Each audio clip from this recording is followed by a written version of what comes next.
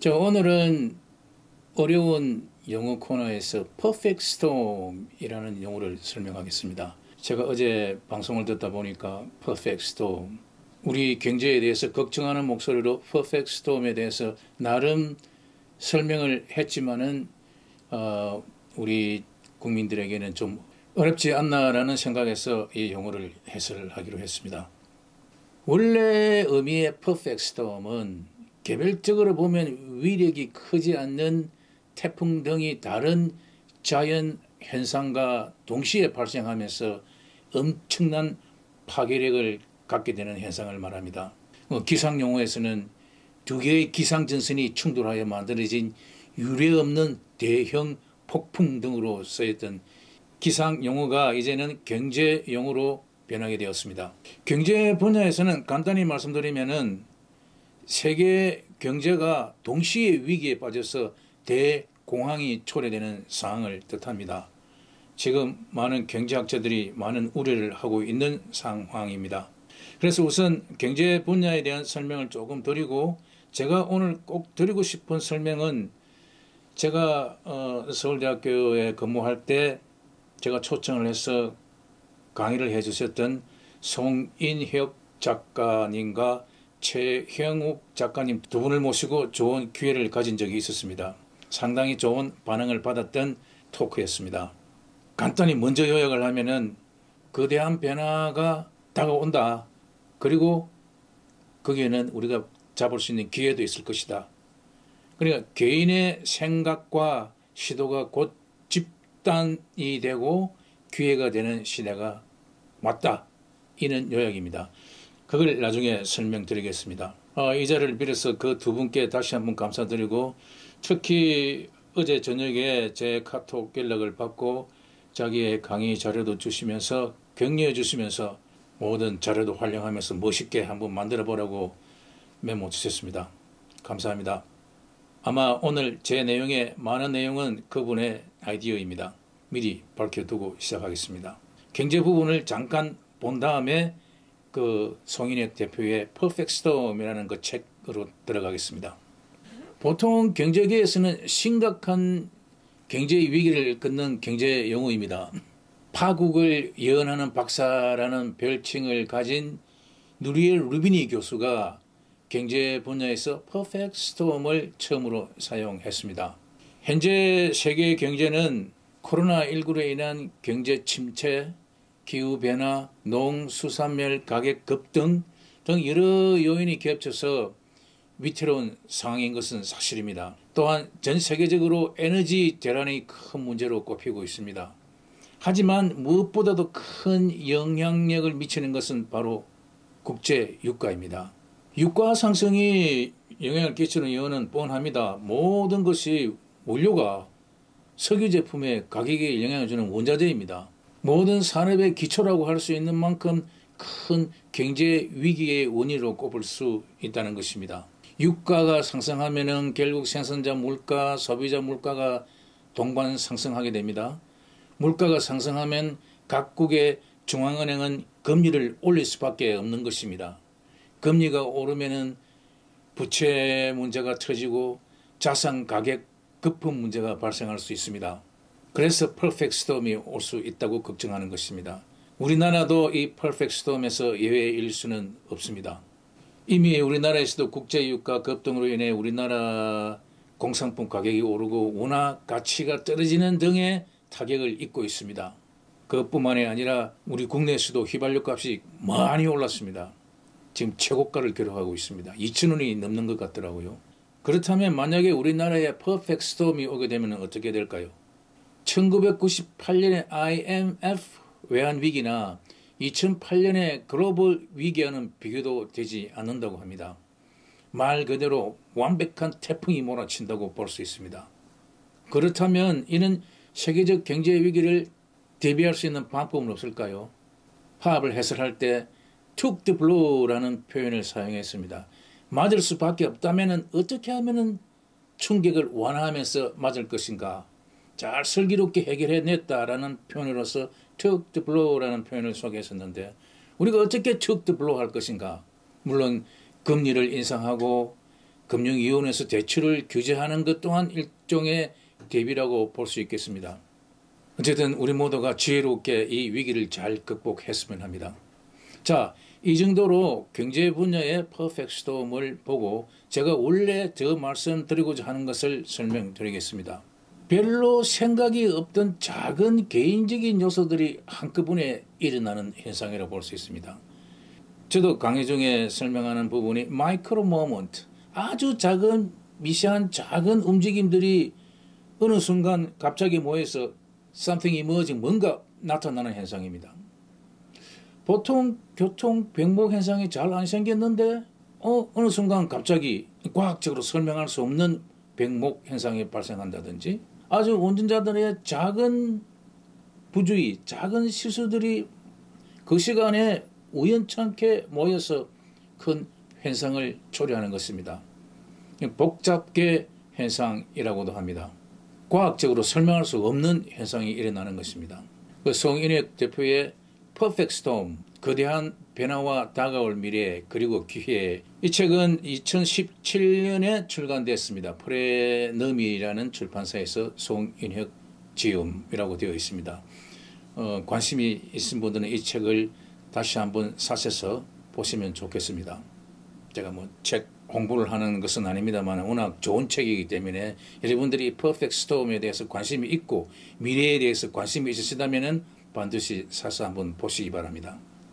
자, 그 송 작가님이 보내주신 파워포인트 중에서 한 페이지를 제가 허락을 받고 인용해서 설명을 드리겠습니다. 이 그림에 보시면은 제일 왼쪽부터 오른쪽까지 시대를 관통하는 키워드는 사람들의 질문을 보면 알 수가 있습니다. 과거 생존이 중요했던 시대에는 정보와 지식이 중요했습니다. 데이터에서 어떻게 하면은 정보, 그 지식을 만들까? 그래서 사람들은 어 뭐가 있지? 그게 뭐지? What? 이라는 질문을 해결하기 위해서 매스미디어나 인터넷을 활용했습니다. 이 그림이 제일 왼쪽에 보면 검색 엔진을 활용하는 지식 경제 시대, knowledge economy 시대였습니다. 지금도 우리가 그 시대에 살고 있습니다. 여러분 아무리 지금 아무리 매체가 발달했지만 옛날에 있었던 그 라디오라는 게 없어지지, 없어지지 않는 이유가 있습니다. listenability. 라디오는 뭔가 다른 일을 하면서 들을 수 있는 장점이 있기 때문입니다. 지금 여기 말하는 지식 경제 시대의 검색 엔진은 사라질 수가 없습니다. 아무리 몇백 년 후에 더 좋은 뭐가 오더라도 이 검색이라는 기본 개념은 사라질 수가 없습니다. 그래서 지금 뭐가 있지? 정보의 축적의 3G 시대라면은 그 다음에는 관심 연결 경제 시대입니다. Connected Economy. 자, SNS를 설명을 드려야 될 것 같은데, 어, 뭘 사지? 뭐 먹지? 이런 고민을 하게 된 겁니다. 뭐 먹지? 이런 고민은 배달의 민족에서 많이 해결을 해준 것 같고, 뭘 보지? 이런 거는 넷플릭스에서 많이 해결해 준 것 같고, 관심 연결입니다. 그래 이를 이를 통해서 세상이 어떻게 돌아가는지를 알게 되자 이제는 주변 대비 자신을 의식하는 나의 시대, self. 내가 이 세상의 중심이다. 나의 시대. 그러면서 나는 뭘 좋아하지? 나는 누구지? 하는 자신의 관심에 닿는 주제, 사람들을 연결해주는 서비스들을 선택받았습니다. 이른바 관심의 시대 SNS 시대입니다. 그런데 이 코로나를 전후로 이제 사람들이 관심들이 연결되어 있는 SNS 시대를 넘어 함께 뭘 하지, 어디 가지 라는 경험을 묻는 시대가 되었습니다. 이게 굉장히 중요한 사실입니다. 이는 온라인 activity가 온라인에서의 모든 같은 행동들이 다시 오프라인 공간으로 옮겨간다는 것입니다. 뭐 먹을까, 뭘 볼까에 대한 질문들은 배달의 민족 Netflix에서 해결되고 있는데 지금 뭐 하지, 오늘 뭐 하지, 우리 함께 주말에 뭐 하지 하는 것들에 대한 솔루션은 없는 상태입니다. 그러면서 사람들이 실내에서도 즐길 수 있는 경험, 뭐 가령 스크린 골프를 한다든지 야외에서도 즐길 수 있는 경험, 혼자서 또는 함께 즐길 수 있는 경험을 요구하는 시대가 되었고 이른바 메타버스의 열풍이 불고 있습니다. 아직은 마케팅 용어로 보는 것이 더 적합하지만요. 메타버스라는 것이. 그리고 줌 서비스 이런 것도 지금 게더타운 이라고 해가지고 메타버스 시대에는 이 화상회의가 진화하고 있습니다. 그냥 줌에서 얼굴 보고 하던 거기에서 실제 공간으로 들어가서 자기가 관심이 있는 사람과 가깝게 가서 그 대화를 나누고 또 이동하면서 그러니까 실제 오프라인 공간에서 이동하면서 대화하는 것과 같이 게더 차원에서는 대화할 수 있게 하는 기능입니다. 놀라운 발전입니다. 그리고 이제 이 엔데믹 상황에서 방금 제가 엔데믹이라고 표현을 했는데 이건 잠시 후에 조금 설명드리겠습니다. 엔데믹 상황에서 트렌드의 중심은 정보 중심의 디지털에서 사람의 관심이 연결되고 흐르는 현실 세계의 경험으로 직결될 것이라는 것입니다. 다시금 디지털에서 아날로그의 현실 세계로 대이주가 이미 시작되었습니다. 한 해에 14억 명이 넘는 사람들이 세계 여행을 다니고 그 이상의 사람들이 지역 공간을 누비는 새로운 여가와 관광의 시대가 열렸습니다. 그런 시대의 중심을 이끄는 젊은 세대를 실감 시대라고 부르는 이유도 여기에 있습니다. 삼성전자는 2020년 CES 기조연설을 경험 산업의 시대로 선포할 만큼 이제는 추상적인 개념의 경험이 그야말로 황금알을 낳는 주체가 될 것이라고 생각합니다. 제가 아르코에서 얼마 전에 좋은 전시회를 한번 봤습니다만은 제가 그래서 예술 하시는 분을 존경하고 사랑하는 모양입니다. 거기에서 2022년 아르코 screening 프로그램이라는 게 있었습니다. 그래서 제가 그대로 한번 옮겨보겠습니다. 팬데믹 시대를 살아가는 지금 그리고 팬데믹 이후를 상상하는 우리에게 이동성, 즉 mobility는 다양한 양태로 발생한다. 코로나 위기는 세계적으로 서로 연결된 경제 및 사회 시스템을 멈추게 하고 역설적으로 그 시스템이 얼마나 깨지기 쉬운지를 여실히 보여줬습니다. 그러나 동시에 네트워크의 망 속에서 새로운 이동성을 창출했고 제가 방금 설명드린 Gather Town 같은 메타버스 등등을 설명하는 것 같습니다. 우리는 물리적 현실과 가상적 네트워크의 중첩 속에서 새로운 세계로의 가능성을 직면하고 있다. 이 말이 굉장히 좋은 말입니다. 물리적 세계, 즉 오프라인 공간으로 옮겨간다는 말을 제가 조금 전에 드렸었고 가상적 네트워크, 지금 온라인 네트워크의 중첩, 두 개가 중첩되는 제가 그 스크린 골프를 친다든지 이런 이야기를 했습니다. 새로운 세계로의 가능성을 직면하고 있다. 삶은 늘 이동적이고 예술도 그렇다. 이 보십시오. 예술도 그렇다. 크고 작은 mobility는 사회뿐만 아니라 예술의 지행도 안에서도 확장되고 성장하면서 동시에 서로를 통합한다. 서로를 통합한다. 이거 온라인적인 공간과 오프라인적인 공간을 서로 같이 통합하는 개념. 지금 많은 여행객들이 나타날 수밖에 없을 것이라고 예상하는 것. 온라인에서 누렸던 것을 그대로 그 경험을 그대로 오프라인 공간에서 한번 누리고 싶은 마음이 있는 것입니다. 자, 그 예술가의 좋은 멘트 있고 제가 이 시점에서 제 개인적인 생각을 한번 드려보면은 자, 그러니까 오프라인 공간에서 경험을 나눌 수 있게 하자. 모든 요소들의 복합체를 구성해 보는 것은 어떨까? 가령 내가 합천호 복원에서 펜션을 운영하고 있다면은 아, 합천에는 합천 행사라는 시대적으로는 고려시대의 국난 극복사를 보여주는 아주 우수한 문화재가 있고 또 합천호라는 자연적인 요소가 있고 황매산이라는 또 자연적인 산과 그리고 태극기 휘날리며라는 영화의 촬영지로서 아주 유명하게 알려졌고 그리고 또 촬영 세트장이 있고 등등 뛰어난 요소들이 복합적으로 어울릴 수 있는 부분이 되고 있습니다. 그리고 그렇다면 이는 여러 가지 경험을 온라인 플랫폼에서 메타버스 또는 게드타운 등을 활용해서 실제처럼 경험하게 한 다음에 거기서 온라인을 경험하니까 어 실제 오프라인 공간에 한번 가고 싶다. 똑같은 겁니다. 온라인에서 경험했던 것이 그대로 오프라인에서 체험할 수 있게 디자인을 하면 어떨까? 이런 걸 염두에 두면은 합천 군수님께서는 이렇게 행정이 도와준다면은 주변의 소상공인들이 활기를 띨 수밖에 없을 것 아니겠습니까? 그럼 제가 뭐 갑자기 든 생각이지만은 괜찮을 것 같고 실제 그렇게 일어날 수밖에 없다는 것입니다. 어, 이런 점을 유의하시면 각 전국의 지자체장들께서 어떻게 하면은 내 지역을 온라인 공간과 오프라인 공간을 통합시킬 수 있게 할까라는 고민을 한번 해 보시기 바랍니다. 그리고 제가 앞에서 엔데믹에 대해서 조금 설명을 드린다 그랬는데 그 부분에 대해서 설명을 드리고 마치겠습니다.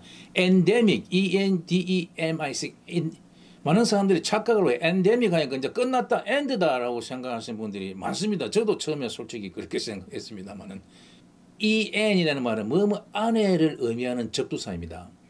그리고 사랑과 지역을 뜻하는 데모스에서 유래한 단어 데믹, D-E-M-I 이게 D-E-M-I-C의 합성어입니다. 그래서 엔데믹은 특정 지역에서 주기적으로 발생하는 감염병 혹은 그러한 현상을 뜻합니다. 영어에서는 풍토병이라는 의미로 사용되고 있습니다. 감기, 말라리아, 괴력 등이 엔데믹에 해당한다고 볼 수 있습니다. 어, 국립국어원에서는 이 코로나 상황을 고려하여 엔데믹의 순화로 감염병 주기적 유행으로 선정했습니다. 아주 좋은 선택이었다고 생각합니다. 감염병 주기적 유행. 어, 코로나가 이렇게 된다는 것이 좋은 소식인지 나쁜 소식은 저로서는 알 길이 없습니다만은 팬데믹보다는 이제는 엔데믹 현상으로서 우리가 주기적으로 우리가 주의를 하면서 같이 살 수밖에 없지 않나라는 생각을 해봤습니다. 자, 기술 핵심 전문가 송인혁 작가의 글을 제가 많이 인용하면서 perfect storm이라는 것을 설명을 드렸습니다. perfect storm 뭔가 micro moment, micro movement, 작은 행동들이 뭔가 뭐를 무엇에 의해서 크게 일어나는 것입니다. 경제적인 현상도 설명을 드렸고 기상현상에 설명드렸고 뭔가 이 다른 요소들이 합쳐져서 큰 이 복합체, 복합계 이론의 한 부분이라고 생각합니다. 제가 항상 강조하는 제가 이 제 유튜브 채널에서도 강조하고 있습니다만은 제가 가지고 있는 기본 철학이 그것입니다. 제가 온톨로지라는 말을 자주 사용하면서 온톨로지컬하게 현상을 보여주면 이용자들은 여러분들 구독자 여러분들께서는 거기서 우연찮게 이것 이것 이것을 생각하지도 않았는데 그것을 클릭하게 됨으로써 뭔가 새로운 아이디어를 가져가게 하자라는 것이 제 기본 생각입니다. 반드시 그렇게 될 것입니다. 지금 퍼펙트 스톰에서 말하고 있는 그런 기조와 제가 가지고 있는 그런 기조는 비슷하다고 봅니다. 그래서 작은 움직임 하나 하나를 우습게 보지 말고 그것들이 모여서 큰 현상을 만들어낸다. 제가 표현하기 좋아하는 부분의 합은 전체보다 크다. 그 부분의 합을 다 해가 전체가 되면 다행인데 이게 나쁜 방향으로 가면 전체보다 훨씬 큰 퍼펙트 스톰, 완벽한 태풍이 몰아치는 것입니다. 자, 이것을 누가 잘 맞을 준비를 해야 되고 자, 우리가 미래를 내다볼 때에는 옛날에 우리가 3G 시대에서는 정보를 찾고 하는 what, 무엇을 찾을 것인가에 치중을 했더라면은 지금 4G 시대에서는 뭘 하지, 뭘 먹지 이런 고민을 하다가 지금 5G 시대에서는 Perfect Storm 시대에서는 Perfect Storm을 예언하자면은 경험이 중요하다. 온라인의 경험을 오프라인을 향해서 찾아 나설 것이다. 소상공인 및 모든 사람들이 잘 준비를 하면은 이는 퍼펙트 스톰 완벽한 태풍이 몰아치고 있지만은 우리는 슬기롭게 살아남을 것이다 라는 내용의 설명을 드렸습니다. 긴 설명 들어주셔서 감사합니다.